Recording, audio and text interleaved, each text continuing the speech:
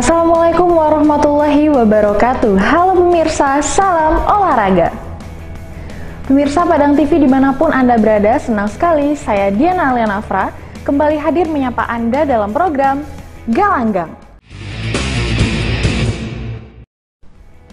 Selama 30 menit ke depan kami akan menyajikan informasi seputar dunia olahraga di Sumatera Barat.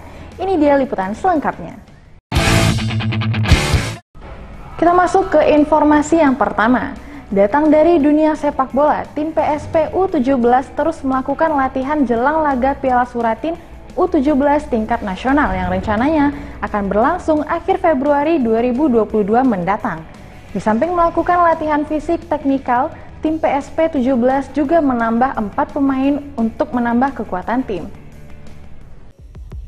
Jelang laga Piala Suratin U17 tingkat nasional yang rencananya akan digelar pada akhir Februari 2022 mendatang. Tim PSP U17 terus melakukan persiapan. Latihan dilakukan dari Senin hingga Kamis pada sore hari, sementara Jumat atlet diliburkan, dan Sabtu melakukan latihan game dan uji coba dengan tim lain. Dedi Umar, Pelatih PSP U17 menyebutkan, awal Februari ini tim PSP U17 telah masuk latihan teknikal serta uji coba yang telah dilakukan dua kali masing-masing melawan tim dengan kualitas di bawah hingga kualitasnya di atas PSP Padang. Selain itu, tim juga melakukan simulasi pertandingan dengan jadwal latihan siang dan pagi Hal ini mengantisipasi jika tim PSP 17 mendapat jadwal pertandingan siang ataupun pagi, sehingga saat pertandingan mereka bisa menyesuaikan kondisi cuaca nantinya. Untuk menambah kekuatan tim, tim PSP U17 menambah empat pemain yakni satu orang kiper, pemain tengah dua orang, dan satu orang striker. Dedi Umar berharap semua pemain bertekad akan membawa Piala Suratin ke Sumatera Barat. Ya ini sudah memasuki di bulan Februari kemarin kita di Januari kita habis juara kita langsung genjot tahap persiapan umum yaitu fisik, endurance, agility semuanya.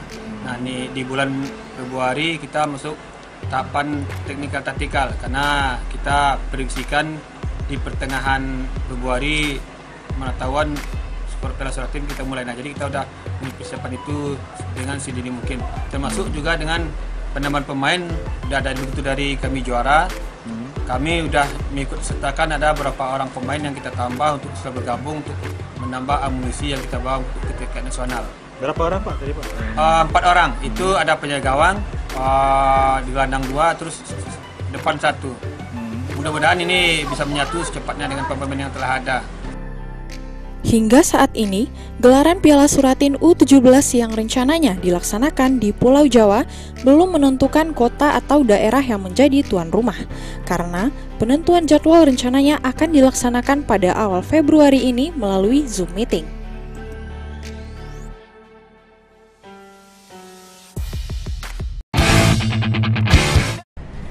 Berita selanjutnya masih dari dunia sepak bola. Turnamen sepak bola usia muda Perserikatan Sepak Bola Gadut atau PSG Cup U15 resmi dihelat. Sembilan tim dari berbagai daerah ambil bagian dalam turnamen ini. Pembukaan pergelaran PSG Cup 2022 U15 digelar beberapa waktu lalu, diikuti sebanyak 9 tim dari beberapa daerah.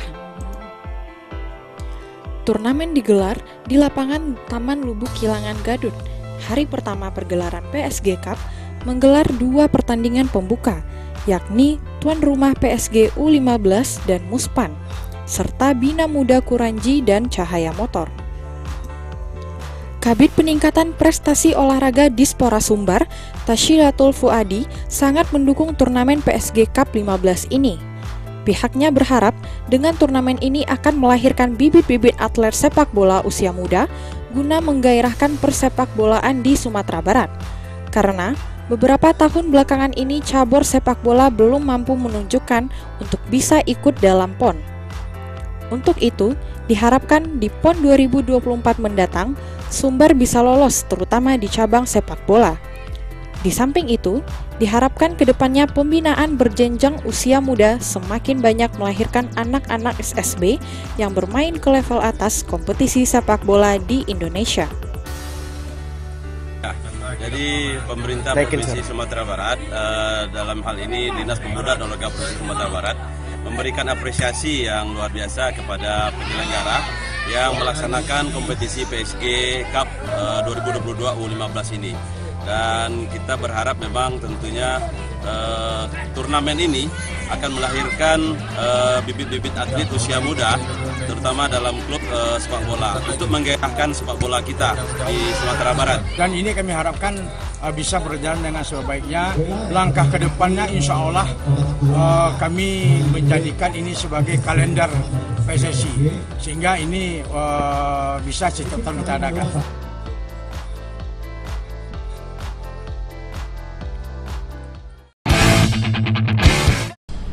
Tim Karate Inkado Dojo Fkan Kuranji genjot latihan untuk menghadapi Kerjurda Inkado yang akan dilaksanakan di Padang pada tanggal 25 Februari mendatang.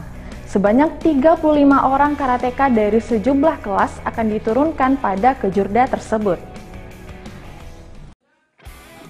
Jelang kejurda Inkado yang akan berlangsung dari tanggal 25 hingga 27 Februari 2022 mendatang di Kota Padang, Sebanyak 35 orang karateka Inkado Dojo Fkan Kuranji saat ini sedang giat melakukan persiapan untuk ikut ambil bagian dalam ajang tersebut. Novriadi, pelatih karate Fkan, khusus kata atau jurus menyebutkan, karateka yang akan bertanding nantinya berasal dari usia dini hingga senior. Saat ini terus dilakukan latihan secara intensif, baik yang akan turun di nomor kata maupun yang akan turun di komite. Untuk persiapan pada nomor kata, pihaknya telah melatih karateka usia dini untuk turun pada nomor kata Hean, sedangkan untuk pemula ke atas akan turun di nomor kata bebas. Sementara pada nomor komite fokus pada latihan teknik menyerang dan bertahan. Sementara untuk target pada kejurda Inkadonati, tim Dojo Fkan Kuranji menargetkan minimal masuk dalam juara umum 3. Kalau untuk kata untuk persiapan dari kata Hean itu untuk usia dini, yang dan kata bebas untuk usia pemula ke atas. Untuk uh, atlet yang kita turunkan nanti berapa nih? Untuk atlet yang kita turunkan sekitar uh, ada 35 orang. Hmm. Yang sudah mendaftar ada 50, tapi kami saring dulu hmm. mana anak-anak yang punya kemampuan yang lebih, makanya dilihat dulu dari pelatih ada wujud dan prestasi komite seperti biasa kita untuk nyiapin teknik komite ya kayak biasa bang. Untuk kayak kayak pertandingan sebelumnya kita persiapan teknik. Ya. Mungkin uh, fisiknya seperti apa nantinya? Ya kalau untuk fisik kita kayak yang dibilang sampai Noviadi tadi kita ada harinya bang. Hmm. dari kita hari Kamis malam kita teknik hari Minggu pagi kita biasanya fisik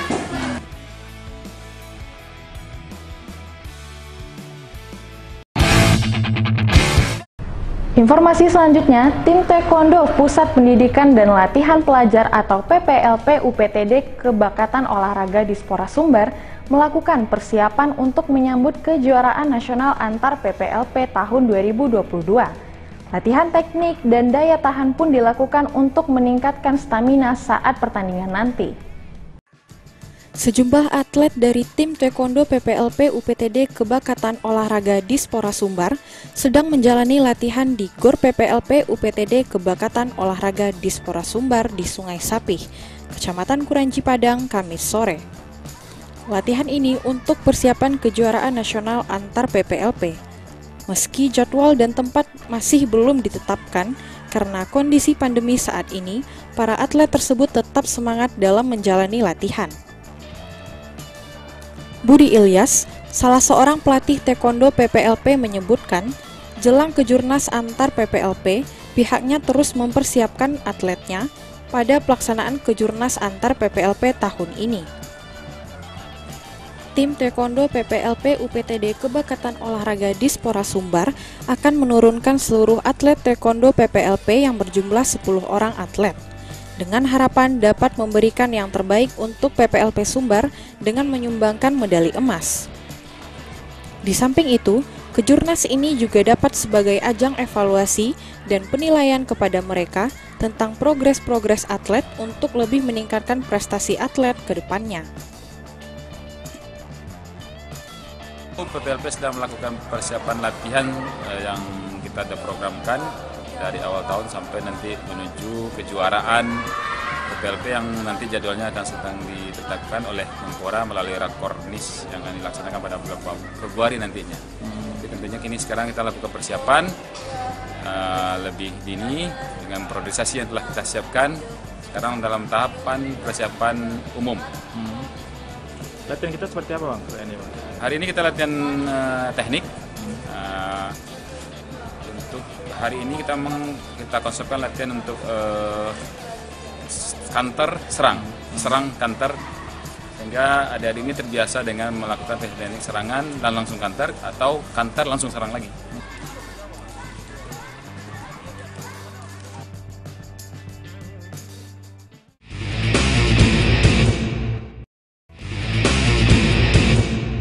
Pemirsa, kita masuk ke segmen fokus dan profil.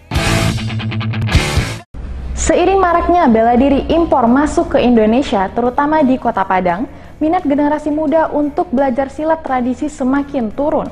Selain itu, maraknya permainan game online juga menjadi salah satu faktor penyebab turunnya minat generasi muda belajar budaya tradisional tersebut.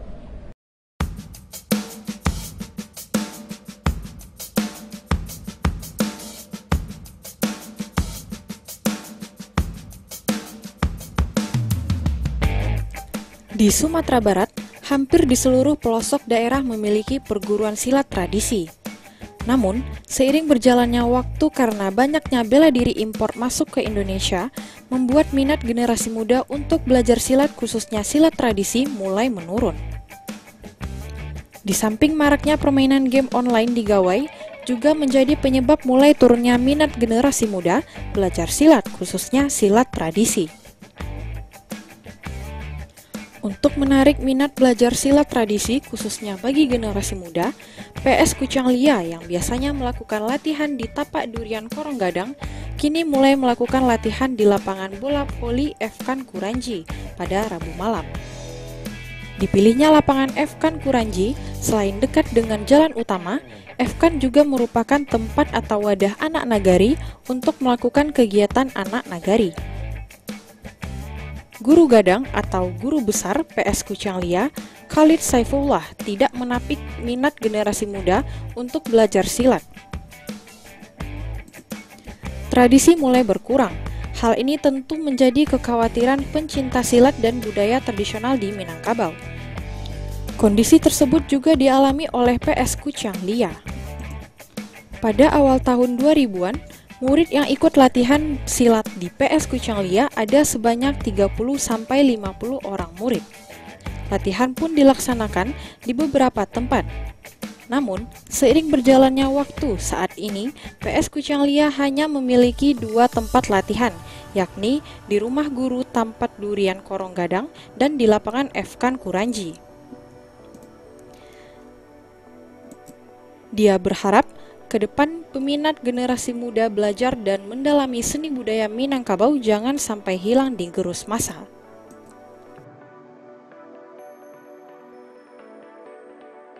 Uh, apa namanya keminatan terhadap silik, terutama silik tradisi ini semakin uh, merosot dan terdegradasi. Nah sehingga memang ini kita alami juga. Kalau dulu tahun-tahun 2000-an kita latihan itu setiap sekali latihan itu bisa mencapai 30 sampai 50 dan kita punya beberapa tempat latihan tersebar. Nah, hari ini kita hanya punya tempat latihan dua. Satu di rumah guru di uh, Durian Tigo Batang atau tempat durian. Di mana dua tempat durian, Bang? Di dekat SMP 28. Di Kuranji ya? Uh, Porong Gadang. Silat kucingnya karena satu untuk membela diri, yang kedua untuk melestarikan seni budaya Minangkabau.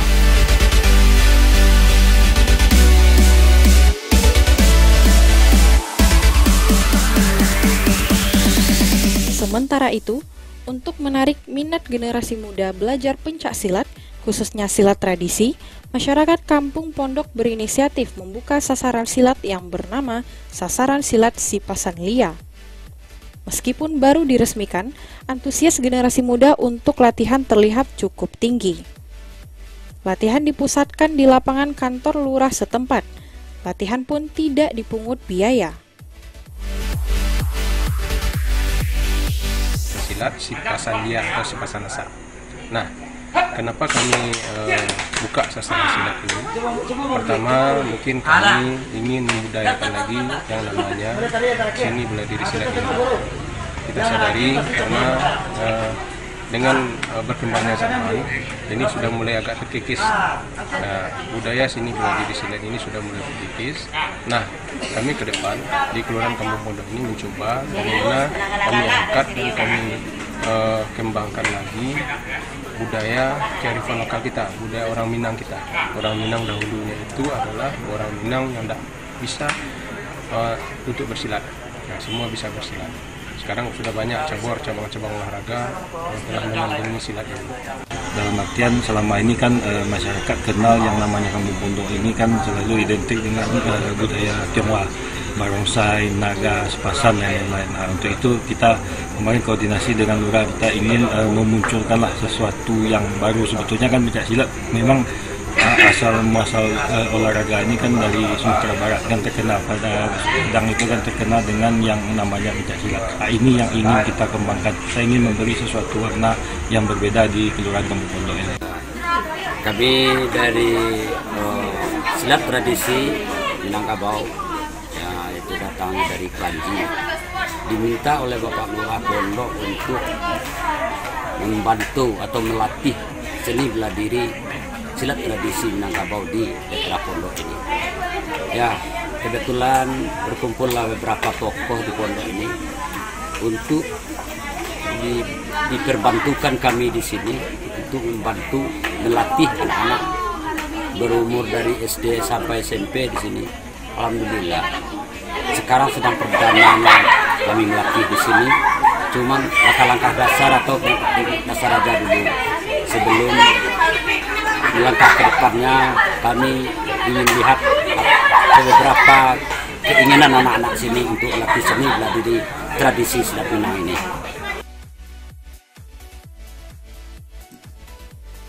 Tujuan didirikannya sasaran silat tradisi ini agar anak-anak di kelurahan tersebut bisa melestarikan budaya tradisional yang telah mulai terkikis oleh perkembangan zaman. Di samping itu, anak-anak juga memiliki karakter dan dapat mempertahankan diri ketika ada yang mengganggu atau berbuat jahat, serta dapat juga sebagai sarana untuk mencari prestasi di jalur non-formal atau luar sekolah.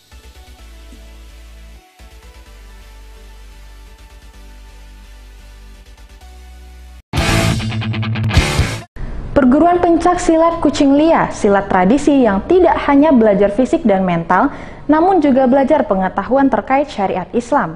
Perguruan yang berdiri sejak tahun 1989 ini masih tetap eksis hingga saat ini di tengah maraknya gempuran budaya asing masuk ke ranah Minang. Di lahir mencari kawan, di batin mencari Tuhan. Begitu filosofi yang berkembang bagi masyarakat di Minangkabau, Sumatera Barat yang belajar tentang silat atau silet tradisi. Hal itu juga berlaku kepada anggota silet di perguruan Kuciang Lia. Selain belajar membela diri dari serangan lawan atau orang jahat, di PS Kuciang Lia juga belajar pengetahuan terkait dengan syariat agama Islam. Salah satu para anggota silat selalu dibiasakan sebelum latihan membaca Al-Fatihah dan selesai latihan juga selalu membaca Al-Fatihah serta ditutup dengan saling bersalaman. Artinya, semua hal diserahkan kepada Allah dan kembali kepada Allah. Perguruan silat Kucang Lia merupakan silat tradisi yang lahir, tumbuh, dan berkembang di Nagari Pawa Sambilan, tepatnya di Tapian Melayu, Lubuk Lintah. Kucing liam merupakan silat pauh yang didirikan oleh Sapi Pili Rajo Bujang pada tahun 1989. Yang membedakannya dengan silat tradisi lain, yakni salah satu ciri khas dari silat Kucing Lia, yakni memakai langkah tiga. Selain belajar gerakan jurus-jurus tangan kosong di perguruan silat Kucing Lia, juga belajar menggunakan senjata, di antaranya jurus dengan menggunakan pisau, rotan, golok, dan sabit. Uh, ya, memang uh, kalau prinsip dalam uh, silik itu kan uh, di mencari kau, di batin mencari Tuhan, uh, atau mencari Allah. Kan? Hmm. Nah sehingga dalam belajar silik di perguruan silik Kuciang ya selain belajar bagaimana bisa membela, melindungi dan mempertahankan diri dari serangan orang yang berniat jahat. Nah, kami di perguruan silik Kuciang Lia juga eh, mendalami, eh, memberikan pengetahuan-pengetahuan dan eh, peningkatan pengetahuan terkait dengan eh, syariat agama Islam. Dan salah satu di antara yang kami biasakan bahwasanya silik itu hanya tidak hanya sekedar eh, kemampuan membela dan mempertahankan diri sebelum latihan itu semua diawali dengan membaca Al-Fatihah. Kemudian setelah selesai latihan semua juga kembali membaca Al-Fatihah. Artinya semua diserahkan kepada Allah dan kembali diserahkan kepada Allah dan ditutup dengan saling bersalaman sebagai bagian dari wujud silaturahim dalam uh, belajar silat. Untuk tingkatan sabuk perguruan silat Kucang Lia memiliki beberapa tingkatan, yakni sabuk putih untuk pemula, kuning, serta untuk pelatih sabuk merah. Selain itu, di dalam tradisi silat tersebut ada tingkatan guru, yakni dimulai dari tingkatan guru tuo atau guru gadang, mamak pandeka, dan kako guru. guru tuo dilewakan dalam prosesi urak balabe, yakni yang bisa diangkat jadi guru tuo di perguruan tersebut adalah mereka layak diangkat sebagai guru dan telah berkeluarga. Sementara yang bisa menjadi guru gadang adalah yang pernah dilewakan menjadi guru tuo yang juga dilaksanakan melalui prosesi urak balabe yang dilaksanakan di tingkat nagari yang diikuti oleh perguruan-perguruan yang berada di negara tersebut maupun nagari tetangga. Itu berdirinya kapan bang? Paguruan Silik Kuciang Lia didirikan oleh guru kami waktu itu tahun eh, 1989 hmm. dan dimulai latihan di rumah beliau. Eh, kemudian eh, selanjutnya juga dibuka tempat latihan di rumah orang tua beliau hmm. di Kampung Tanjung, Kampung Kelawi. Salah satu eh, kekasan dari ya. eh, Kuciang Lia adalah di mana di Silik Siang Lia itu kita memakai uh, langkah tiga. Uh, langkah tiga itu menjadi khas bagi Silik Siang Lia. Saat ini, perguruan silat Kucang Lia dari awal berdiri hingga saat ini memiliki anggota sebanyak 300 lebih. Namun, yang masih aktif saat ini hanya belasan orang saja karena fenomena saat ini minat untuk belajar silat mulai menurun. Dampak dari maraknya budaya asing masuk ke Indonesia. Saat ini, PS Kucang Lia memiliki dua tempat latihan, yakni di Tapak Durian Korong Gadang dan lapangan Fkan Kuranji.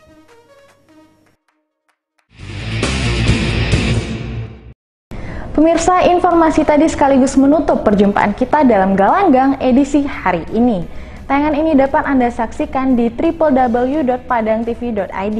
Saya Diana Alianafra, mewakili segenap kru yang bertugas pamit undur diri.